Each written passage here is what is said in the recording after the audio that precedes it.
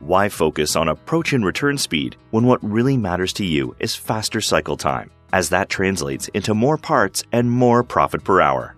Since creating the world's first electric press brake, the original e brake by Safan Darley is the benchmark for productivity in the metal bending world.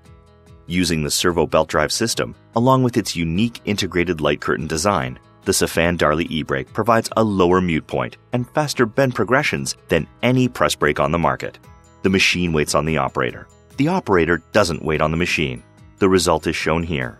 With a Safan Darley e-brake, you get faster cycle time, which has been proven in many cases to generate up to 30% more parts per hour. Combine that with 50% less energy costs and virtually no maintenance required, and the Safan Darley e-brake is easily the fastest return on investment in the press brake market.